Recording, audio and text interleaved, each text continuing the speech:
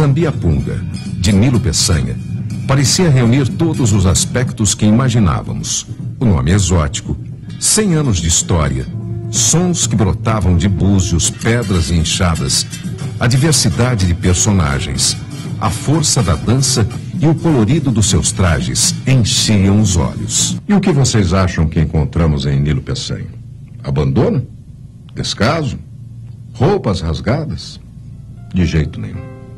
O que encontramos foi amor e dedicação plena. As fantasias, é verdade, estavam velhas e desbotadas, mas todas impecavelmente limpas e guardadas. Assim também encontramos os seus dirigentes, senhores idosos de feições rústicas e pouca conversa. Mas quando pronunciávamos o nome Zambiapunga, aqueles homens de 70 anos se transformavam, no dia da gravação, faixas, cartazes, encontramos uma cidade em festa. Na semana seguinte, o Zambiapunga vai ao ar para todo o estado da Bahia. Zambiapunga era aquela mistura gostosa de emoção e medo.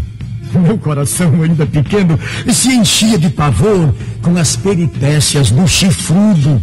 Bonito era ver o mundo mágico das figuras exóticas a desfilar pelas ruas. Ah, que saudades de Zambiapunga, a festa para o deus Zambi. Cultura da Bahia. Tradição a preservar.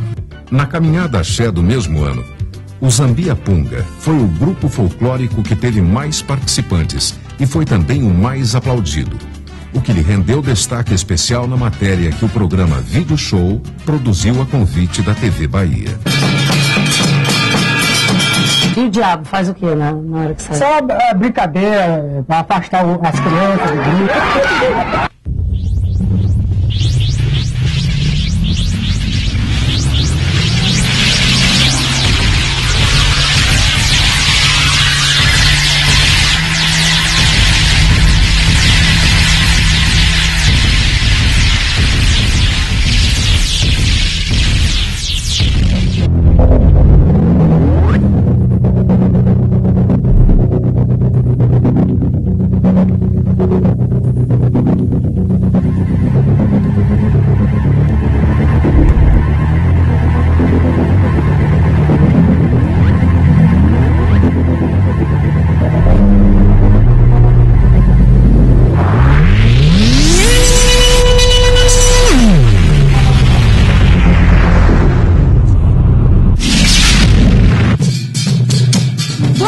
noite! Estamos aqui na cidade de Nilo Peçanha, berço do Zambiapunga. O grupo todo fez questão de sair às ruas esta noite. O Zambiapunga saiu no New York Times. Orgulho para a Bahia e para o Brasil.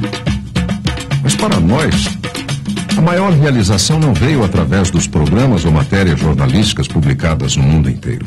Ela vem ocorrendo em silêncio e lentamente.